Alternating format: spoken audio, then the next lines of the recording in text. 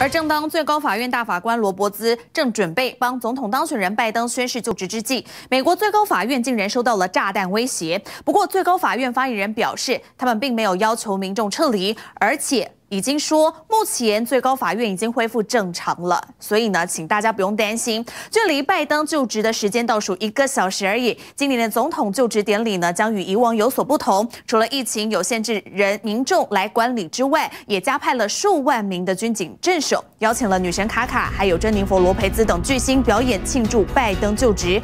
此外，川普也依循了传统，在白宫留下了祝贺的字条给拜登。我国驻美代表肖美琴也获得了邀请。函来管理，同时感谢你今天的收看，我是何之玉。